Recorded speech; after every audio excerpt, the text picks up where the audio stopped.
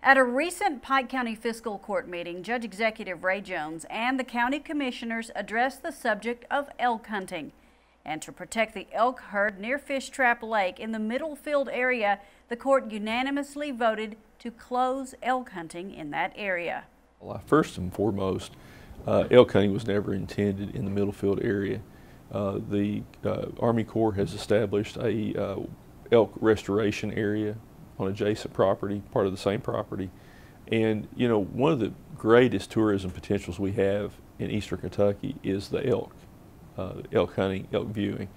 And this property is used for a lot of other purposes. Of course, uh, we have people that you know, trail rides, people that run dogs, and we wanted to make sure the property wasn't close to all forms of hunting, but with the goal to try to restore the elk herd here in Pike County, we wanted to shut it down for elk uh, for elk hunting purposes.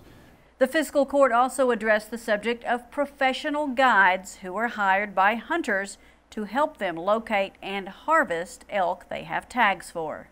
We had uh, Fish and Wildlife officers make us aware of professional guides that were charging a substantial amount of money to bring people in uh, with the intent to hunt in Middlefield.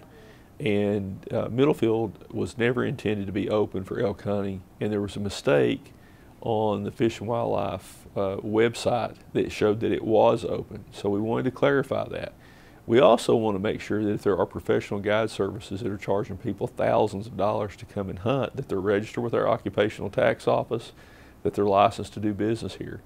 Uh, because it's, it's only fair if local businesses have to do it that people who are coming in making a lot of money off of elk hunting are also licensed.